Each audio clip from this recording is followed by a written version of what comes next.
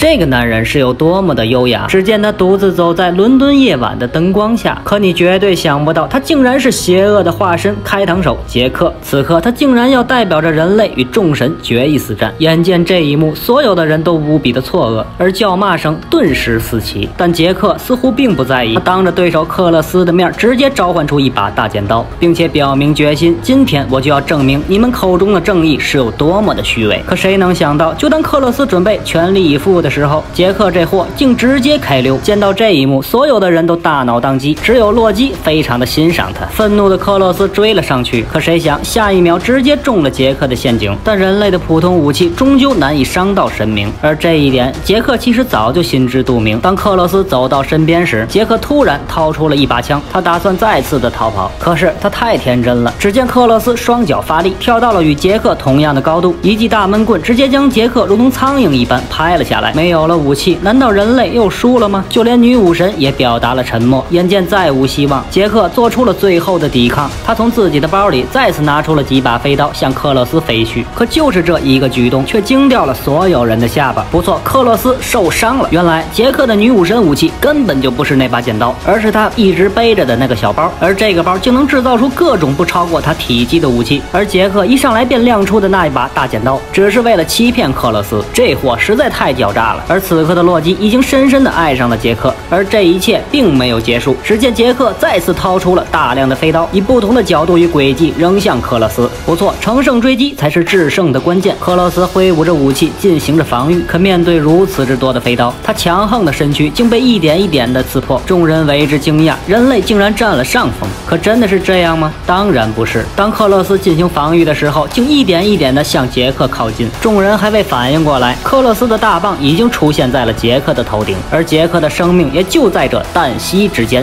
你根本无法想象开膛手杰克是有多么的可怕，他竟将正义之神克洛斯如同猎物一样玩弄于股掌之中。就在刚刚，面对杰克漫天的飞刀，克洛斯的大棒直接挥向了杰克的头顶。可任谁都想不到，就在这电光火石之间，杰克竟突然掏出了一把雨伞，凭借着伞的韧性，他竟然弹开了这致命的一击。而这一幕让众神对他产生了兴趣，就连克洛斯都开始正视起眼前这个敌人。但对于杰克来说，这仅仅只是一个开始，因为一切都在他。的算计之中，而此时克洛斯这个正义之神只想要堂堂正正的击败杰克。只见他摆出特殊的战斗姿态，只在一瞬间，克洛斯战力暴涨，就连身上的刺青也变得扩大，而他手中的大棒直接爆发出雄狮的光芒。由于事发突然，杰克被吓得差点直接尿出来，而伴随着这吞噬一切的力量，杰克被一击击飞，狠狠地撞在了墙上。见此一幕，神族的观众沸腾了起来，也只有少数人发现克洛斯身上的刺青似乎大了许多，直到。这一刻，我们才知道，原来克洛斯可以召唤出十二种强大的力量，可代价却是每使用一次，身上的刺青便会放大一些。如果布满全身，他也会随之消亡。这种力量也被称为十二业障。而就在这时，杰克突然站了起来，观众也是傻眼，这货怎么跟小强一样？谁想下一秒，他拿着蝴蝶刀直接向克洛斯冲了过去。这对于狡诈的杰克来说，绝对是破天荒的第一次。我们都知道，这一定又是一场阴谋。果不其然，刚交锋了两下，他直接漂浮在了半。空之中，不知何时，他在半空中布满了钢丝。此刻，他如同猎手一般俯视着克洛斯，而接下来的漫天刀雨更是将他的阴险可怕展现的淋漓尽致。可谁想，克洛斯再次释放业障的力量，召唤出强大的猎鹰，将所有的飞刀反弹了回去。由于躲闪不及，右眼的怀表都被直接击碎。可也就是这一下，他竟看到了自己有生以来最不可思议的画面，让他这颗扭曲的心彻底的兴奋了起来。